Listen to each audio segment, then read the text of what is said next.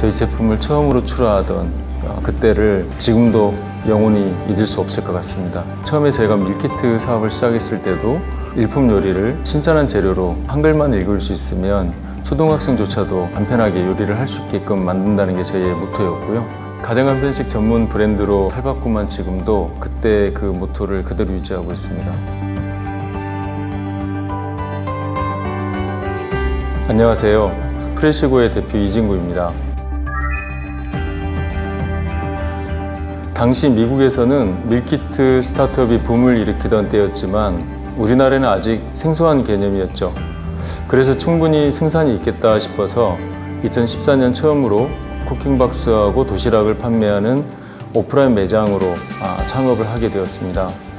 계속되는 실패로 인해 정말 힘들었습니다. 불 꺼진 매장에서 홀로 남아 눈물을 흘린 날도 많았습니다.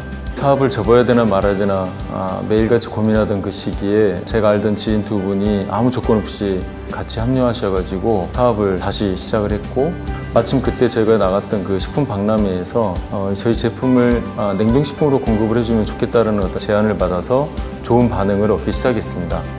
저희 프레시그 제품의 가장 큰 특징은 어, 프리미엄 제품을 누구나 편하게 이용할 수 있다는 것입니다.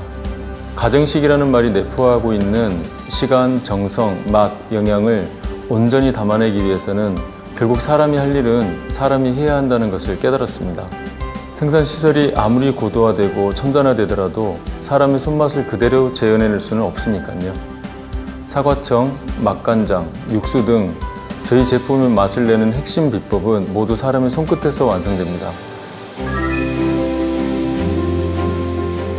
그런 저희의 진심이 통했는지 프레시고의 제품을 찾아주시는 소비자들이 부쩍 늘었어요.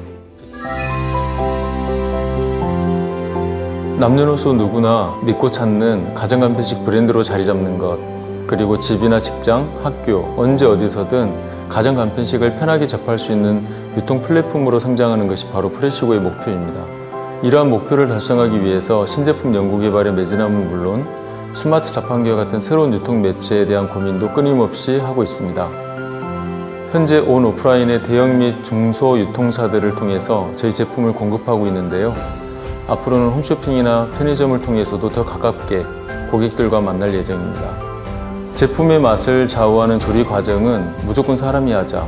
매 순간 사람의 오감으로 섬세하게 조절하면서 음식을 만들어내자. 그래서 진정성 있는 제품을 소비자에게 제공하자는 것이 프레시고가 끝까지 지키고자 하는 신념입니다. 가정간편식 전문 브랜드의 first mover가 될 것을 약속드리겠습니다.